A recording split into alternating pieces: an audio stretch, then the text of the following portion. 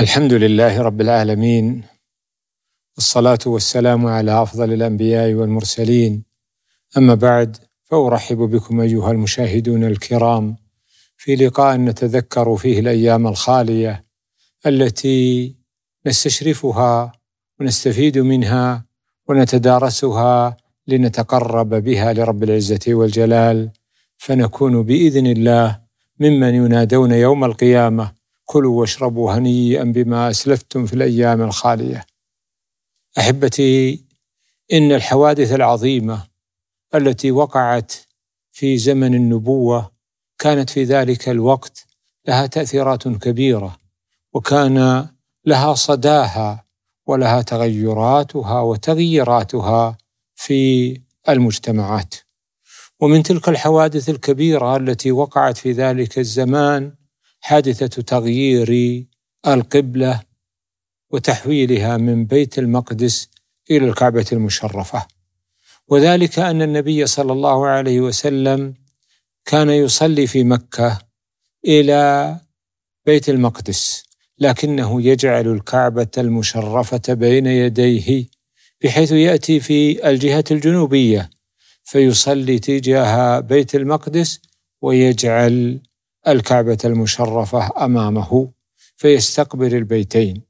وهكذا استمر النبي صلى الله عليه وسلم في مكة على ذلك الحال حتى انتقل إلى المدينة. فلما انتقل إلى المدينة بقي ستة عشر شهرا أو سبعة عشر شهرا يصلي تجاه بيت المقدس. وكان النبي صلى الله عليه وسلم يعجبه أن يصلي تجاه الكعبة. وكان اليهود يفرحون بموافقة النبي صلى الله عليه وسلم لهم بكونه يصلي إلى بيت المقدس. لكن هذا الحكم كان له وقع كبير في النفوس. حكم تحويل القبلة. ولذا مهد الله عز وجل له بعدد من أنواع التمهيدات فإن الحكم بتحويل القبلة ورد في سورة البقرة. وقبل ذلك مهد الله عز وجل له بعدد من الأمور بمثابة التقدمه والتمهيد لهذا الخبر العظيم. فمن ذلك أن الله جل وعلا ذكر في هذه السورة عددا من الأحكام التي لها نوع اتصال بهذا الحكم. فمنها أنه ذكر فضل إبراهيم عليه السلام ومكانته في قوله تعالى وإذ ابتلى إبراهيم ربه بكلمات فأتمهن قال إني جاعلك للناس إماما وهكذا أيضا ذكر بتطهير هذا البيت أن طهر بيتي للطائفين والعاكفين والركع السجود وذكر الله جل وعلا دعوة إبراهيم أبي الأنبياء عليه السلام لهذا البيت ومن سكن فيه. ورب اجعل هذا بلدا آمنا وارزق أهله من الثمرات. وهكذا ذكر الله جل وعلا تلك الحادثة العظيمة المتمثلة في بناء إبراهيم عليه السلام للبيت في قوله وإذ يرفع إبراهيم القواعد من البيت وإسماعيل. والتذكير بأن إبراهيم الذي بنى هذا البيت هو أبو الأنبياء وأن الأنبياء الذين أتوا من بعده هم من ذريته ومن ذلك موسى وعيسى عليهما السلام. وهكذا من الأحكام التي جاءت بالتمهيد لهذا الحكم العظيم المتعلق بتحويل القبلة موضوع النسخ. فقد ذكر الله جل وعلا أنه قد ينسخ بعض الأحكام في قوله ما ننسخ من آية أو ننسها نأتي بخير منها أو مثلها لم تعلم أن الله على كل شيء قدير. وهكذا ما ذكر الله جل وعلا من كون المشرق والمغرب له سبحانه وتعالى. هذا أيضا بمثابة التمهيد لمسألة تحويل القبلة. ولله المشرق والمغرب فأينما تولوا فثم وجه الله إن الله واسع عليم. وهكذا أيضا ما ذكر الله جل وعلا من شأن أولئك الذين يمنعون المساجد ويفترون على الله الكذب في ذلك. فكانت هذه الأحكام بمثابة التمهيدات لهذا الحكم العظيم. ثم نزلت الآية قد نرى تقلب وجهك في السماء فلنولينك قبلة ترضاها فول وجهك شطر المسجد الحرام وحيثما كنتم فولوا وجوهكم شطرة. فكان هذا الحكم الذي نزل في هذه الآية محل تندر من بعض المناوئين للنبي صلى الله عليه وسلم وأصبحوا يستهزئون. يقول بعضهم لو كانت الأولى حقا فلم تركها؟ وإن كانت الثانية هي الحق فلم لم يتوجه إليها من أول الأمر. ما علموا أن الأمر كله لله جل وعلا. فنزلت الآيات العظيمة. سيقول السفهاء من الناس ما ولاهم عن قبلتهم التي كانوا عليها. قل لله المشرق والمغرب يهدي من يشاء إلى صراط مستقيم. ثم ذكر فضل هذه الأمة وكذلك جعلناكم أمة وسطا لتكونوا شهداء على الناس ويكون الرسول عليكم شهيدا. وما جعلنا القبلة التي كنت عليها إلا لنعلم من يتبع الرسول. يعني أن هذا التحويل لابتلاء الخلق واختبارهم. هل يسلمون لحكم الله عز وجل وأمره أو أنهم يترددون ويشككون في ذلك؟ لعلنا نتوقف لفاصل قليل.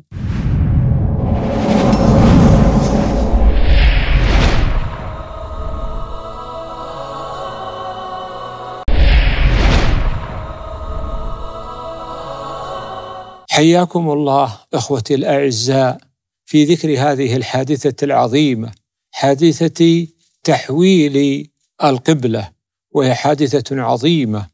ذكرها الله جل وعلا في كتابه ومهد لها بأنواع التمهيدات. وكان مما ذكره الله جل وعلا في هذا الشأن أن قال وإن الذين أوتوا الكتاب ليعلمون أنه الحق وما الله بغافل عما يعملون. ولئن أتيت الذين أوتوا الكتاب بكل آية ما تبعوا قبلتك وما أنت بتابع قبلتهم وما بعضهم بتابع قبلة بعض. نعم ما بعضهم بتابع قبلة بعض. وذلك أن النصارى يصلون إلى جهة المشرق وأن اليهود يصلون إلى جهة بيت المقدس. وبين الله عز وجل أن لكل ديانة قبلة تكون لأصحابها. ولم يكن هذا من أسباب القدح في بعض هذه الديانات بسبب تغير هذه القبلة. ثم ذكر الله جل وعلا أن الذين آتاهم الله الكتاب يعلمون أنه الحق كما يعرفون ابناءهم وإن فريقا منهم ليكتمون الحق وهم يعلمون. الحق من ربك فلا تكونن من الممترين.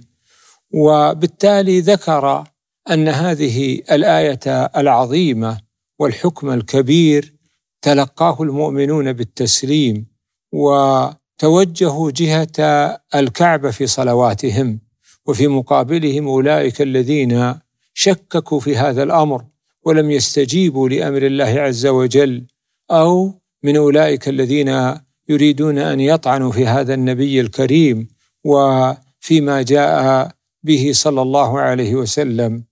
ومن حيث خرجت فول وجهك شطر المسجد الحرام وإنه للحق من ربك وما الله بغافل عما تعملون. ومن حيث خرجت فول وجهك شطر المسجد الحرام وحيثما كنتم فولوا وجوهكم شطرة لئلا يكون للناس عليكم حجة. إلا الذين ظلموا منهم فلا تخشوهم واخشوني. فكانت هذه الآيات المتكررة. في الأمر بالتوجه نحو الكعبة المشرفة لتؤكد هذا الأمر العظيم وتزيل ما يكون في النفوس من بقايا سابقة من كون القبلة الأولى إلى جهة بيت المقدس. وفي هذا أن الإنسان ينبغي به قبل أن يتخذ أي قراض له وقع في النفوس أن يمهد له. وأن يجعل النفوس تقبله حتى إذا جاءها قبلته. ومما يتعلق بهذا أنه لما نزل الوحي بتحويل القبلة استجاب المسلمون لذلك النداء الإلهي وتحولوا إلى جهة الكعبة في صلواتهم فأصبحوا يصلون لله عز وجل.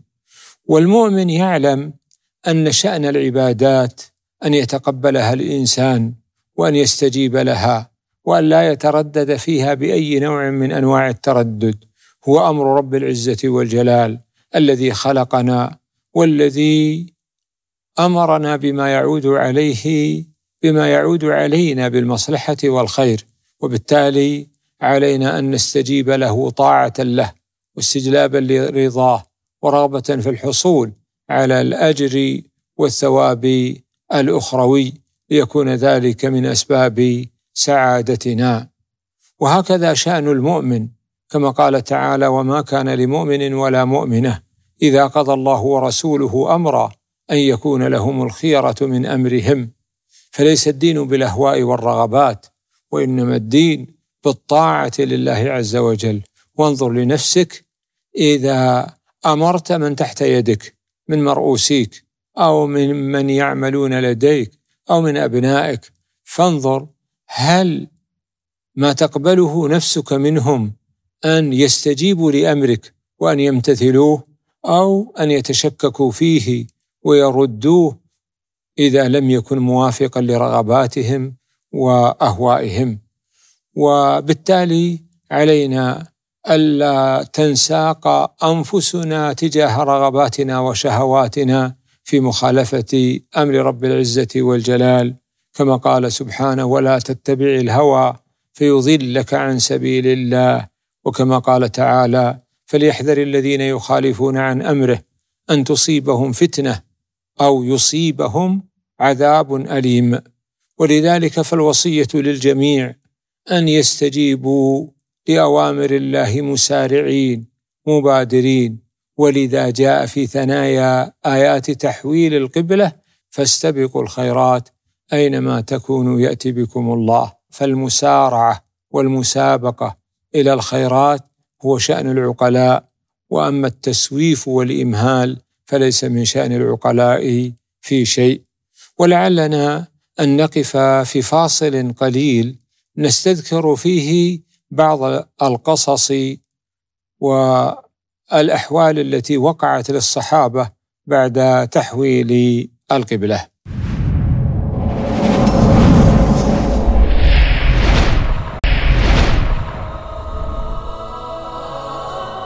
حياكم الله واهلا وسهلا ومرحبا بكم في لقاء نتدارس فيه موقف صحابة رسول الله صلى الله عليه وسلم من تحويل القبلة. كان شأن الصحابة أن يستجيبوا لما جاءهم من أوامر الله ومن أوامر رسوله صلى الله عليه وسلم. ولذلك لما نزل تحريم الخمر وكانوا قد اعتادوه لسنوات طوال وأرسل رسول الله صلى الله عليه وسلم مناديه ينادي بأن الله قد حرم الخمر ألقوا ما في أيديهم من الخمر حتى أن سكك المدينة لتسير من الخمور التي ألقوها. ولما أخذوا لحوم الحمار وطبخوها في غزوه في غزوة خيبر وكانوا محتاجين إلى الطعام فأرسل النبي صلى الله عليه وسلم مناديه ينادي إن الله ورسوله ينهيانكم عن لحوم الحمر الأهلية استجابوا وامتثلوا مع أنه قد طبخت هذه اللحوم في القدور وكانت على وشك الإنضاج وما ذاك إلا للسمع والطاعة لله عز وجل ولرسوله صلى الله عليه وسلم وبذلك كانوا ممن فاق العالم في درجات الإيمان بسبب سرعة استجابتهم لأوامر الله عز وجل. وأوامر رسوله صلى الله عليه وسلم. كان من الحوادث التي ذكرها آه، البراء بن عازب أنه ذكر أن بعض الصحابة كانوا يصلون صلاة العصر فجاءهم المنادي ينادي ويخبرهم بأن القبلة قد تحولت فاستجابوا لذلك وتحولوا وهم في صلواتهم.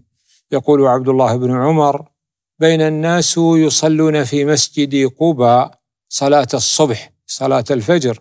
إذ جاءهم آت فقال إن رسول الله صلى الله عليه وسلم قد أنزل عليه الليلة قرآن وقد أمر أن يستقبل القبلة.